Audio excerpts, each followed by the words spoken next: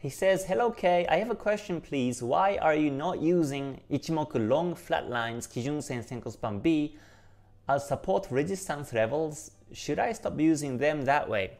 You can do that too. You can use it as support resistances. So in this case, you know, Kijun-sen flat. So Kijun-sen can be support. If Kijun-sen remains flat like this, and the market retraces back to Kijun-sen, then it, it sometimes works as a support and you can buy there too. That's possible. Or if the market comes down to Senko span A or Senko span B, and if you see the bounce, you can buy there too. Yeah, it's possible. It's possible.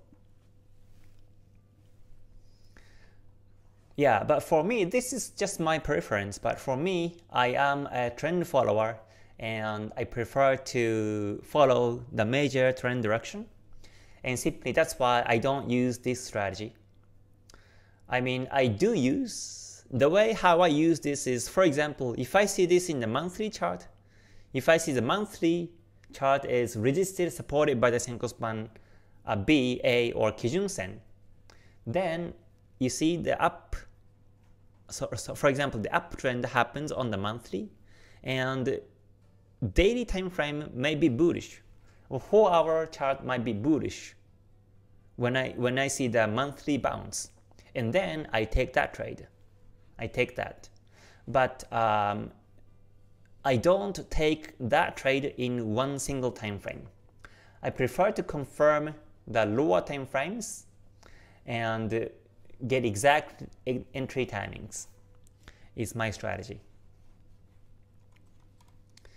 So that's the situation.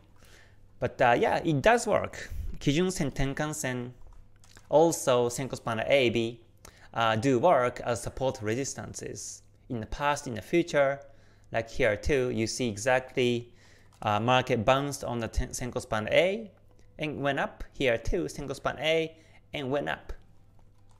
So you can take this also. Or you, you can see that there was um, Kijun-sen bounce here too, so you can do that too. It's possible. So in this case, since this is a daily time frame, for me, right, for me, I prefer to, if I take the buy here on this Kijun-sen bounce, if I notice a Kijun-sen bounce on the daily time frame, and most likely I will be here or here, and I should be seeing the 4 hour time frame will be up or 1 hour time frame will be up. And then I follow that direction until it ends.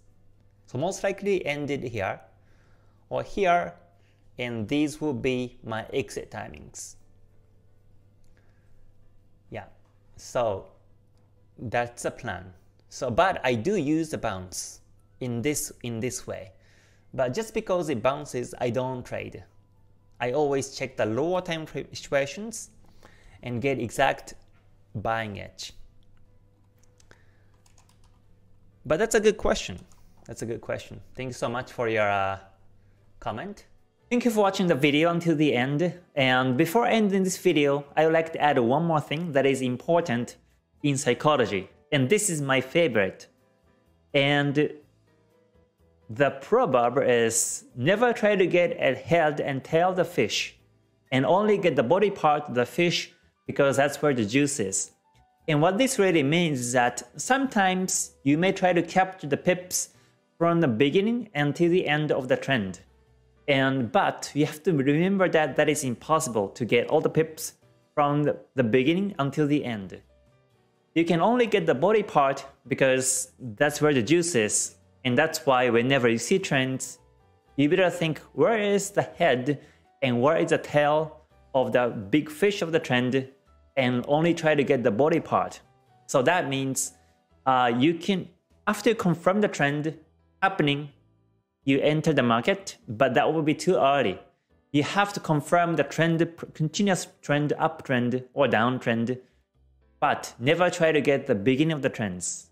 Also, whenever the market goes flat and sideways after the big trends, you never exit just because the market retraces. That retracement might still be a temporary and the market may go up continuously.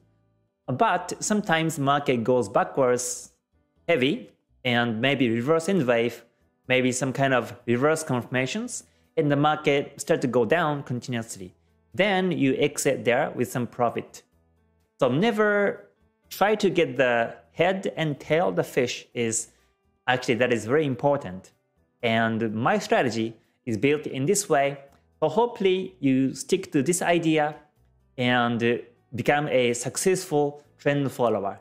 So until I see you on the next one, please stay healthy and stay safe and stay gold. Alright, bye for now. Mata ne. Thank you.